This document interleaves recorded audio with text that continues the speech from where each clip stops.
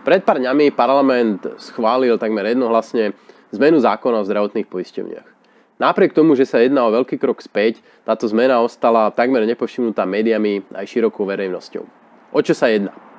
Na Slovensku funguje zdravotníctvo ako keby v dvoch takých logických módoch. Ten prvý mód je, že zdravotné poisťovne vyjednávajú s poskytovateľmi, to znamená s nemocnicami, lekármi, všeobecnými e, laboratóriami a tak ďalej, o tom, koľko a za akú cenu zdravotnej starostlivosti nakúpia. Je to taká tá vízia, že štát e, by nemal veslovať, mal by iba kormidlovať. Mal by povedať, aké podmienky musia byť pre toho poistenca splnené, e, aká má byť dostupnosť, čo má dostať, akú kvalitu, ale to už ako sa to spraví, to veslovanie ostáva na dohode zdravotných poisťovní a poskytovateľov.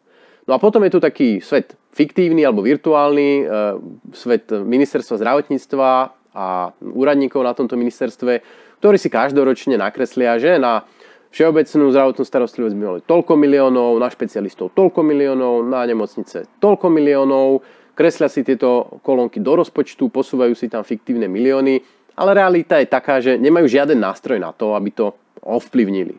Táto zmena zákona zavádza to, že ponovom ministerstvo presne nakáže poisťovňam, za akú sumu majú nakupovať akú zdravotnú starostlivosť. To znamená, povedia im poisťovne, musíte nakúpiť toľko z nemocníc, toľko špecialistov, toľko eh, od, od eh, všeobecákov za takéto milióny. Ak to nesplníte, máte problém, ktorý je v tom zákone následne popísaný.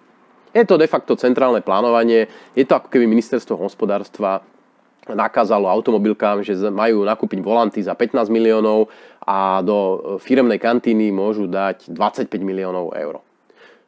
Je to zlé? Nemohlo by takto zdravotníctvo fungovať?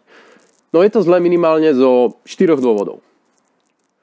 Poprvé, Tvorba cien nebude prebiehať tým tvrdým vyjednávaním medzi poskytovateľmi a poisťovňami. Tvrdé vyjednávanie znamená, že poistenec, to znamená my všetci, ktorí si platíme zdravotnú starostlivosť, dostaneme čo najviac zdravotnej starostlivosti za čo najmenšiu sumu. Toto vyjednávanie sa presunie na chodby ministerstva zdravotníctva a bude závisieť od toho, ako mm, úspešní budú lobbysti eh, jednotlivých typov poskytovateľov zdravotnej starostlivosti, ako budú veľmi klopať na dvere. A v podstate ten efekt eh, hodnoty za peniaze pri nákupe zdravotnej starostlivosti sa vytratí. Po druhé, poistevne nemajú eh, rovnaké kmene poistencov, sú tri, niektoré majú skôr starších, niektoré majú tak chorých, niektorých majú inak chorých, in, rôzne sociálne skupiny a potrebujú pre svojich poistencov nakupovať rôzne množstvo rôznej zdravotnej starostlivosti. To nie je univerzálne. Po tretie, samotný štát je v konflikte záujmov, je najväčším prevádzkovateľom nemocníc. Čo bude ministerstvo zdravotníctva brániť, aby priamo cez vyhlášku e, poslala svojim neefektívnym nemocniciam viac peňazí než napríklad dokážu si vyjednať so zdravotnými poisťovňami.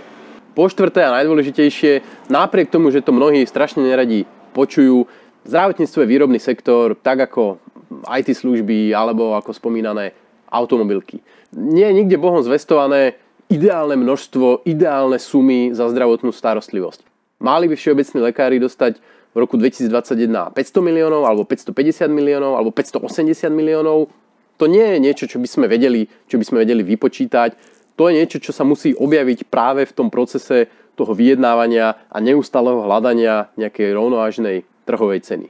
Tento nový mechanizmus takémuto niečomu zabráni. Zabráni takisto prestupovaniu inovácií eh, v platobných metódach, zabráni eh, vsúvaniu nejakých kvalitatívnych ukazovateľov do vyjednávania o, cenách a podobne. Stane sa to v podstate len tabulkovou hrou, kde sa budú priraďovať milióny k jednotlivým kolonkám.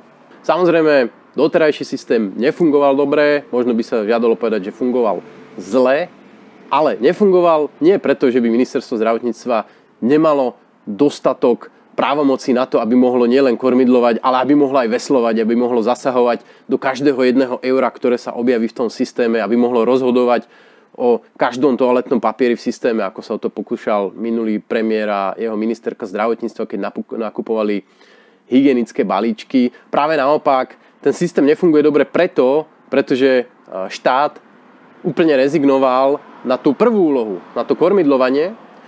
Štát by mal určiť rámec v rámci ktorého nakupujú zdravotné poisťovne zdravotnú starostlivosť. To, má, to znamená, že mali by povedať, aký je nárok, aká by mala byť dostupnosť, mali by, mali by určiť nejaké kvalitatívne parametre, mal by určiť nejaké parametre ohľadom komfortu pacienta, jeho administratívnej obsluhy a podobne. Jednoducho, aby sme jasne vedeli porovnať tie nákupy tých poisťovní, ktorá to robí výhodnejšie, ktorá to robí menej výhodne, aby sme aj vedeli povedať, uh, akým spôsobom sú vhodné finančné toky. Že či naozaj máme málo nemocníc, alebo možno nemocníc máme veľa a ešte by mali dostať menej a naopak viacej peňazí by malo ísť možno všeobecným lekárom.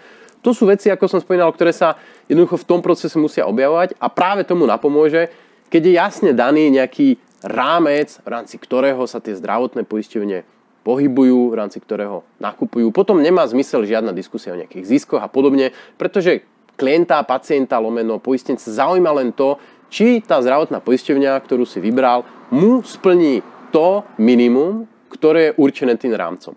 Lenže nevidíme, že by postupovali kvalitatívne nejaké ukazovatele, že by postupovalo určenie nároku, dostupnosti, čakačky. Nic z toho sa nedeje.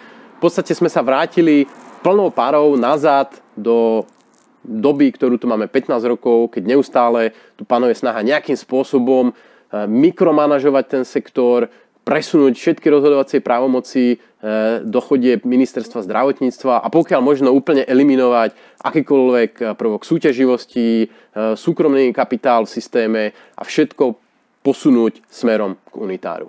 Pre slovenského pacienta a poistenca to nie je dobrá správa.